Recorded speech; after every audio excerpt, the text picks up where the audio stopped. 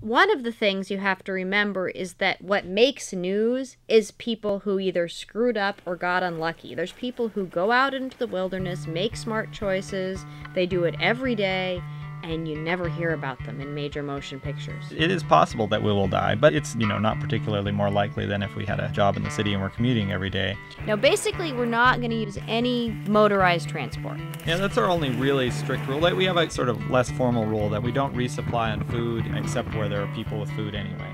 We're basically going to be amphibious. We're going to walk, but we have these tiny boats that are just five pounds that we carry in our backpacks. So many people seem to assume that, I guess, because I'm the woman along on this trip, that I must just be along for the ride. I mean, people ask Hig while I'm standing two feet away how he got me to come along with him. I mean, actually, this whole trip was my idea. I'd been the one pushing that we should, you know, do something really big, that we should take a whole year and, you know, try walking to Alaska all the way to the Aleutians. One of the odd things about a trip like this is you want to plan an adventure. It's kind of almost an oxymoron. Adventure sort of is what you failed to plan. It's kind of a trick of how do you put together something that's going to be full of unexpected surprises, challenges that push your limits, but it's not something that's going to kill you.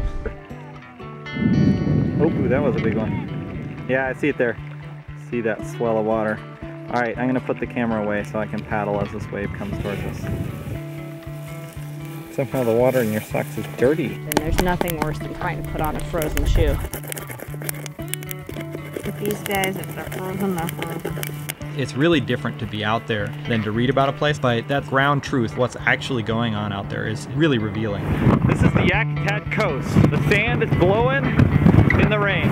We've kind of holed up here, uh, got our raft lashed over us. what, do I look that funny? That will not get in the way.